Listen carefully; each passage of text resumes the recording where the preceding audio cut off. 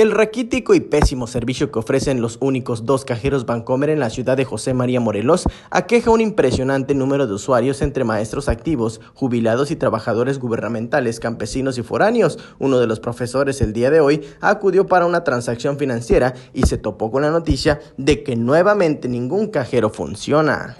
Esta es una irregularidad, una irregularidad del Banco Bancomer pero también es una irregularidad de las autoridades de aquí, de José María Morelos, entre ellos el ayuntamiento.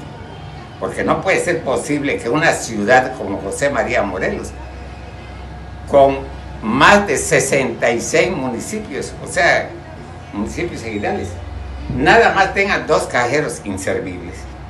Entonces no puede ser posible con tantas oficinas, más de 2.000 maestros, o una secundaria, con dos secundarias, bachilleres y, universidades y, oficinas del, gobierno.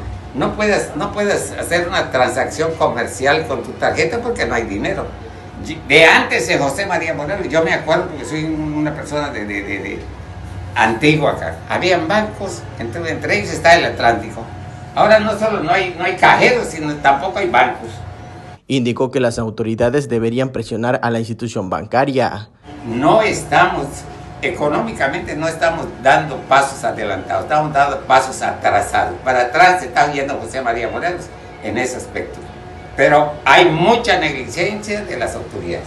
Hay tiempos en que les pagan a la gente del campo los programas del gobierno federal y no tienen dónde cambiar su dinero, o sea, su, su, su, lanita para que, para que lo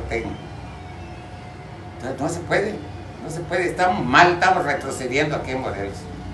Y lo digo claramente, sin, sin tintes políticos. Lo digo claramente.